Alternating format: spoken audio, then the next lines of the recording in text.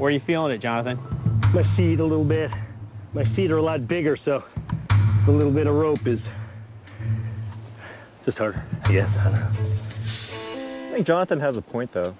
What's that? Well, basically, the surface area supporting all of us is about the same, even if your feet are a little bit bigger or not. But, you know, your, your mass goes up at a faster rate than surface area. It's kind of like why elephants can't run up trees. Just what I was thinking. Clearly. Uh, I'm never going to get a date again. Smart equals sexy.